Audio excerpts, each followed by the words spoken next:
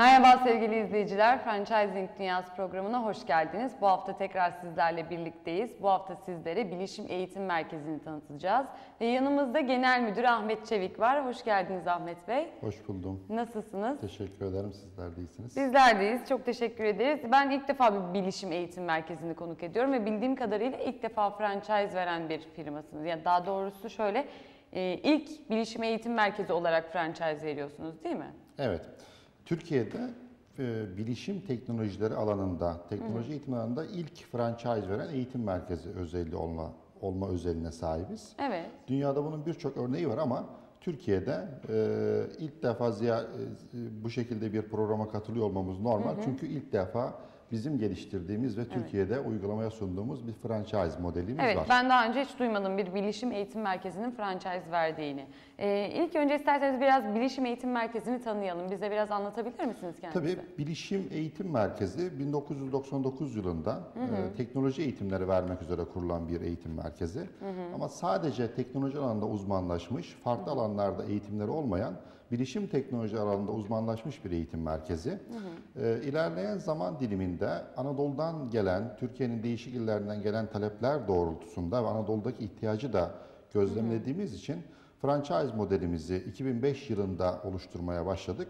Anadolu'nun bilgisayarlaşması, internetin yaygınlaşması ve teknolojinin ilerlemesiyle birlikte Evet. 2009 yılında Bilişim Eğitim Merkezi'nin ilk franchise'ını Eskişehir şubemiz olarak açtık Evet. ve sonrasında Bursa, Konya gibi illerde devam ettik. Şu anda da birçok ilde çalışmalarımız devam ediyor. Evet, peki bilişim e, eğitim merkezinde nasıl eğitimler veriliyor?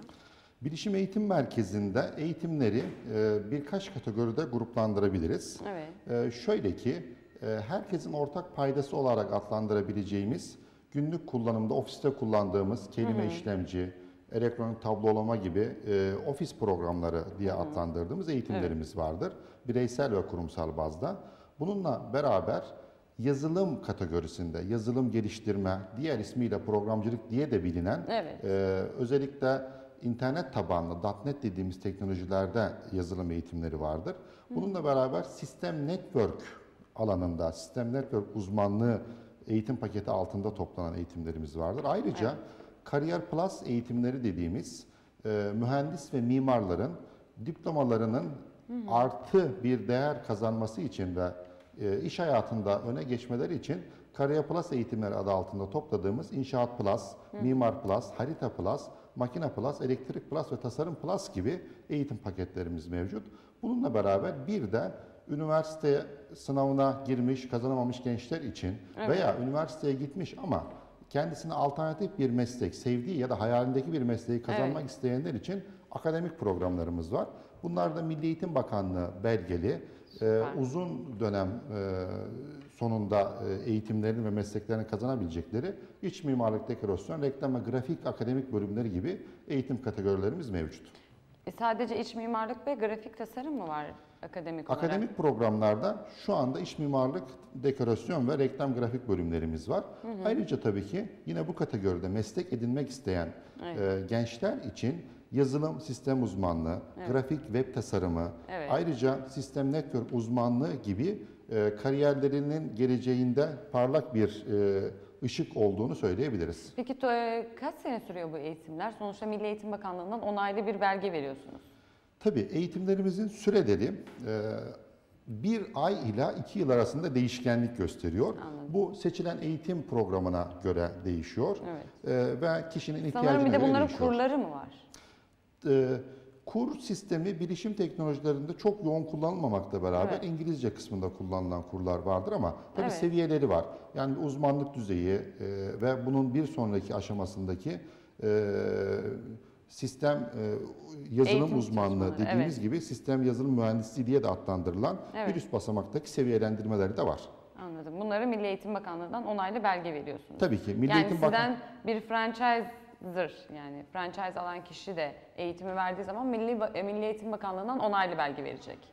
Evet ve Milli Eğitim Bakanlığı'na bağlı eğitim kurumu olması e, ön şart e, zaten e, yasalar gereği. Bununla Evet. beraber ayrıca uluslararası yazılım devlerinin Türkiye'deki yetkili eğitim merkezi olma özelliğine sahip Bilişim Eğitim Merkezi. E, bu konuda e, Microsoft'un yetkili eğitim merkezi, Adobe'nin yetkili eğitim merkezi, Autodesk, Cisco gibi birçok yazılım devinin Türkiye'deki yetkili eğitim merkezi ol- olma özelliğine sahip. Bu da şu anlama geliyor tabii ki.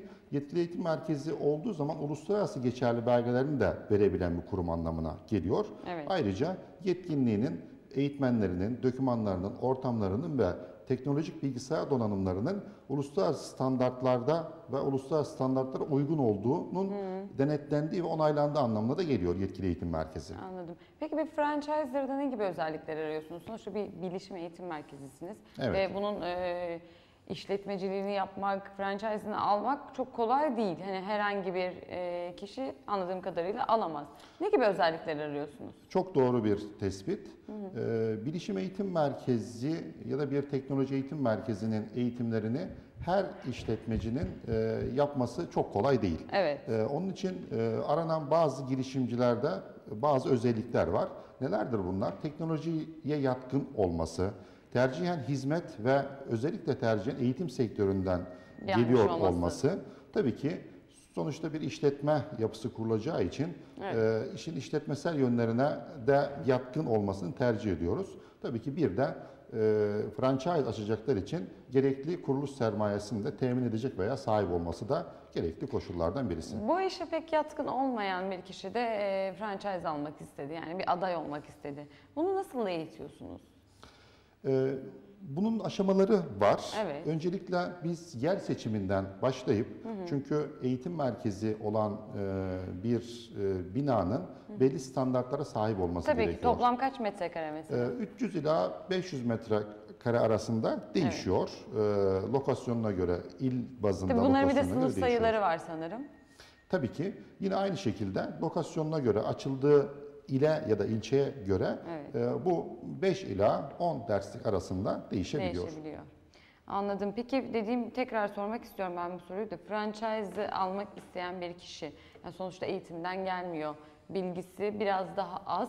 O yüzden e, ama yine de bilişim eğitim merkezinin franchise'ını almak istiyor. Yani en azından hevesli. Bunun eğitimleri var. Sanırım per- Tabii personel eğitimi de veriyorsunuz zaten. Evet, bizim franchise alan e, girişimcimize e, sunduğumuz olanaklardan birkaç tanesi de personel temini. Bunlar arasında e, eğitmen akademisi dediğimiz ilk eğitmenlerin yetiştirilmesi, İstanbul'da gerekiyorsa İstanbul'da Evet. eğitilmesi, Evet. gerekli sertifikasyonun tamamlanması ve hazır hale getirilmesiyle beraber Evet. idari kadrodaki eğitim danışmanı veya diğer e, personelin de yetiştirilmesi ve akademimize alınarak hazır hale getirilip şubemize yerleştirilmesi sürecinde destek veriyoruz. Eğitmenleri siz mi temin ediyorsunuz yoksa onlar kendi iş görüşmeleri şeklinde yapıp e, eğitmenlerini seçebiliyorlar mı? Her ikisi de olabiliyor. Ancak ilk aşamada eğitmen temininde ağırlık bizde ve biz yapıyoruz. Evet. Belli aşamadan sonra e, franchise şubemiz kendi lokasyonunda artık standartları ve formatları öğrendik, öğrendikleri için bizim de desteğimizle arkasını rahatla getirebiliyorlar. Evet. Şimdi toplam kaç bayiniz var Türkiye genelinde? E, Bizim e, toplamda şu an 8 şubemiz var. Evet. Bunların 4 tanesi, e, özür dilerim Ankara şubesi de eklendi, 9 Dokuz oldu. oldu. E, Bunlardan 4 tanesi İstanbul'da, Evet. Kadıköy, Bakırköy, Beşiktaş gibi lokasyonlarda. Bir tanesi Ankara'da, diğer 3 tane franchise şubemiz de Bursa, Eskişehir ve Konya illerinde bulunmakta. Lokasyon olar- olarak nereleri tercih ediyorsunuz? Yani belirli merkezleriniz var mı ya da çok işlek yer, işlek cadde üzeri olması gerekiyor mu? Herhangi bir ara sokakta da olabilir mi? E, Tercihen tabii ki işlek cadde üzeri olması. Hem işletme açısından hem de bilinirlik açısından. Ancak e, tabii ki illerin lokasyonları, cazibe merkezleri farklılık gösterebiliyor.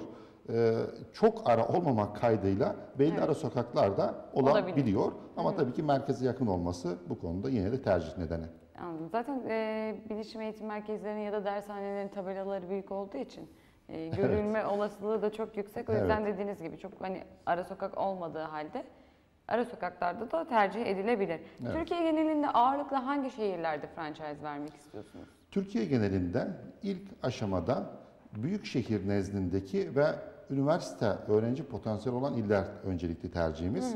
Bunlar arasında şu anda İzmir e, girişimci adayları için boş. Bunu duyurmak istiyorum özellikle buradan. İzmir. E, evet, e, her nedense e, birçok il doldu ama İzmir'de e, bu noktada henüz şubemiz açılmadı. Burada güzel bir fırsat var. Bunu Evet. öncelikle ifade etmek istiyorum. Halbuki Bunu- çok eğitime açık da bir şey, şehir Tabii ki üniversitelerin olduğu, e, Üniversitelerin nüfusunun, olduğu, evet. sanayisinin belli oranda büyük olduğu büyük illerimizden birisi. E, zannediyorum görüşmelerimiz var ama kısa zaman içerisinde sonuçlanacaktır. Bununla beraber Antalya, Gaziantep, e, Samsun, Trabzon, Eskişehir falan orada. Eskişehir'de var şu an şubemiz. Var. Bölge korumamız olduğu için e, ikinci bir şube şu anda vermiyoruz En güzel. aynı ile. Evet. Evet. Bir bilişim eğitim merkezi olduğu için hani bir gıda sektöründe olsa, restoran atıyorum kafe olsa tabii ki ikinci bir şubeyi verirsiniz. Mesafeleri uzak olur ama bilişim eğitim merkezinde bir şehirde bir tane yeterli diye düşünüyorum ben de. Evet. Bir de e, ağırlıkla özellikle büyük ihtimalle şehir dışından talep gelecek. Çünkü e, bilişim eğitim merkezleri ağırlıklı İstanbul'da var ve herkes çocuğunu eğitim alabilmesi için İstanbul'a gönderiyor. O yüzden e, şehir dışında olan ben e, izleyen izleyicilerimize de seslenmek istiyorum. Şehir dışından talepler olursa e, gayet başarılı bir sonuç alabilirler diye düşünüyorum. Kesinlikle.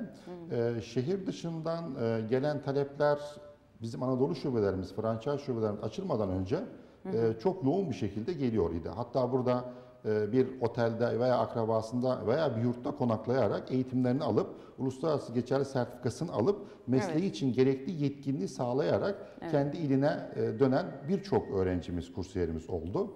E, Bunu e, artık on- bu hizmet o, o kursiyer adaylar ayaklarına götürüyoruz şu an bu şubelerin açılışıyla birlikte. Çok güzel. Peki denetimi nasıl sağlıyorsunuz franchiser'ların? Güzel. E, franchise şubelerde hizmet sektöründeyiz ve denetlenmesi çok önemli bir unsur. İşin bu noktasında e, belli zaman periyotlarında e, denetim ekibimiz ilgili şubeleri ziyaretlerde bulunuyor. Bu hem bir denetim hem de bir yol gösterme danışmanlığı şeklinde. E, şöyle ki e, en önemli iki nokta var. Eğitim kalitesinin üst seviyede tutulması ve devam ettirilmesi. Bununla beraber tabii ki pazarlamadan işletmesel e, noktalara kadar tüm süreçleriyle ilgili denetimlerin, raporların hazırlandığı, yol gösterildiği bir ekibimiz ve bir mekanizmamız var. Evet. Ben biraz da bütçeye eğilmek istiyorum. Ee, Bilişim Eğitim Merkezi'nin franchisini almak için toplam ne kadar bir bedele ihtiyaç vardır? Ee, bu konuda bizim ABC diye kategorize ettiğimiz illerimiz var.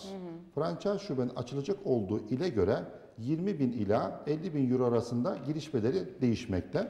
Bununla beraber tabii ki biz bu e, bedeller isterken ne sunduğumuz kısmına da biraz değinmek istiyorum. Ee, spesifik bir alanda eğitim ve eğitimin bilişim teknoloji alanında eğitim veriyoruz ve bu Evet. noktada sunduğumuz birçok olanak var. Bunlardan birkaç tanesini hızlıca saymak gerekirse, Tabii. örneğin çok işlevsel, çok iyi çalışan bir web sayfası yazılımı. Yani Evet. Şubenizi açtığınız andan itibaren şube adresinin eklenmesiyle beraber taleplerin düşeceği, e, arama motorlarında üst sıralarda çıkacağı ve e, çok ciddi rakamlar harcayarak, giriş bedelini bile vererek e, bu sayfayı yapamayacağı bir internet sitemiz var. Bununla beraber e, otomasyon sistemimiz var. Otomasyon sistemini sınırsız, internet tabanlı, full entegreli otomasyon sistemi. Öğrenci kayıt girişinden, eğitmen hak edişlerine, eğitmenlerin ders yoklamalarından, öğrencilerin devam devamsızlığına kadar ve muhasebe ayaklarını da barındıran Bu programı kullanabiliyorlar yani. Bizim Franchise. geliştirdiğimiz, bizim yazılım departmanımızın geliştirdiği ve yaklaşık 6 yıldan 6 yıl süre içerisinde geliştirdiği çok büyük bütçeli, Evet. full entegreli bir e, eğitim kurum otomasyon Peki sistemi siz var. bundan ayrıca bir ücret alıyor musunuz bu programları kullanmaları için? Kesinlikle almıyoruz. Sınırsız Süper. bir şekilde Çok kullanmalarını güzel. sağlıyoruz. Evet. E, tüm franchise şubelerimizin.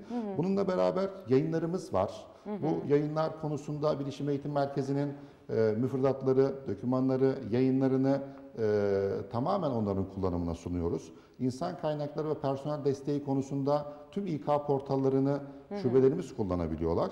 Yani bu bedellerin çok ve çok fazlasını Üstünde, evet. başlamadan sunuyoruz. Şöyle ben eee, söylemek istiyorum.